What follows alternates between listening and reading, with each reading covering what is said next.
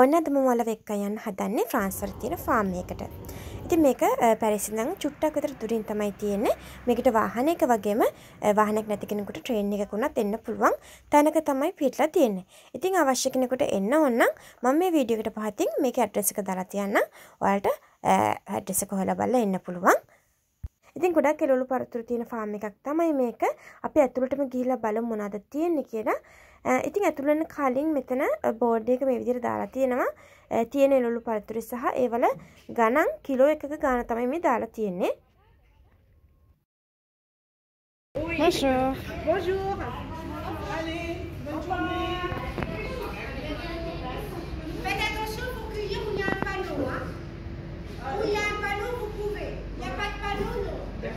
මේ ෂොප් එක ඇතුලෙන් තමයි ෆාම් එක ඇතුළට යන්නේ අපි ෂොප් එකට පස්සේ යමු. ඉතින් මේ තියෙන්නේ ෆාම් එක ඇතුලේ වලට පේනවා ඇති. ටිකක් ලොකු ෆාම් එකක්. ඉතින් අපි ඇතුළෙදිම ලේඩි කෙනෙක් කිව්වේ අපිට බෝඩ් එකක් තියෙන තැන්වල පමණයි එළවලු හරි පළතුරු හරි කඩන්න පුළුවන් කියලා.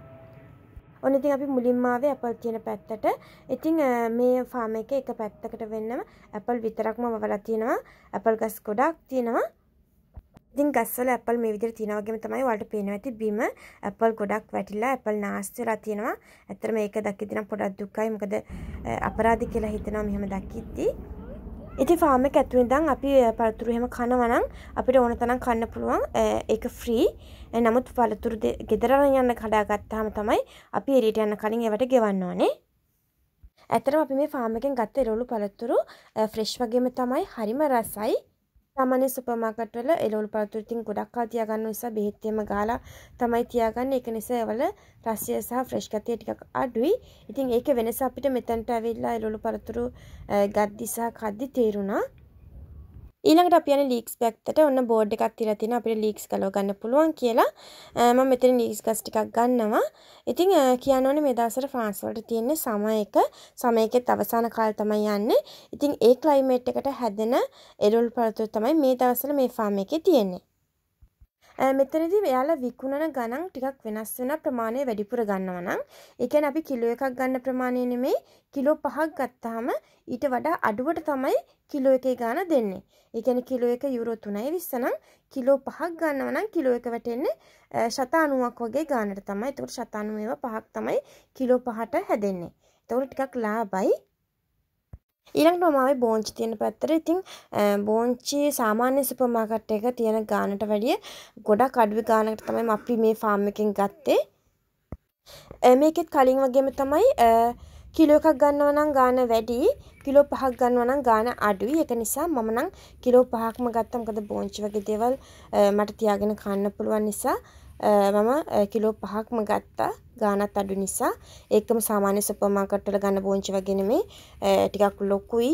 ඒ වගේම රසයි කියලාත් හිතෙනවා. ඊළඟට මෙතන තියෙනවා මෙහි තියෙන තැඹිලි පාට වට්ටක්ක එක මේක නම් ගොඩක් හොඳ සුප් හදන්න. ඉතින් මම නම් මේක ගන්නෙ නෑ. ඒක නිසා ඒකම මෙතන බඩීරිඟු වගාවක් තියෙනවා. මෙතනින් නම් මම බඩීරිඟු ටිකක් ගන්නවා. ඒක මෙයාලා මෙතන බෝඩ් එක ගහලා තියෙනවා. බඩීරිඟු සුද්ධ කරලා කියන්නේ මේකේ තියෙන පොත්ත සුද්ධ කරලා ගත්තොත් ගාන වැඩි. ඒ කොලත් එක ගත්තොත් ගාන අඩුයි කියලා.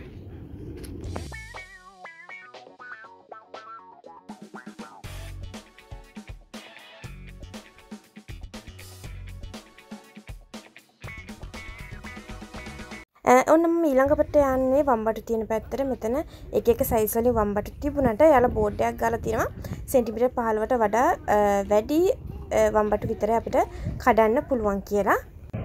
ඔන්න ඉතින් මම මෙතනින් වම්බටු ගෙඩි කිහිපයකුත් ගත්තා ගොඩක් ගත්තේ නැහැ. ඊළඟට ඔයාලට පේනද මෙතන තියෙන මිරිස් වගාවක්. මෙතන මිරිස් වර්ග ගොඩක් තියෙනවා හීම් මිරිස් මාළු මිරිස් බෙල් පෙපර් එකම බෙල් පෙපර් වර්ගත් ගොඩක් තියෙනවා.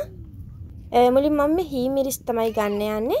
මොකද අපිට ෆ්‍රාන්ස් වල ෆ්‍රාන්ස් වල තියෙන සුපර් මාකට් වල හී මිරිස් නැහැ. හී මිරිස් ගන්නවා නම් ලංකාවේ බඩු තියෙන කඩේකට හරි ටැමිල් කඩේකට යන්න ඕනේ හී මිරිස් ගන්න.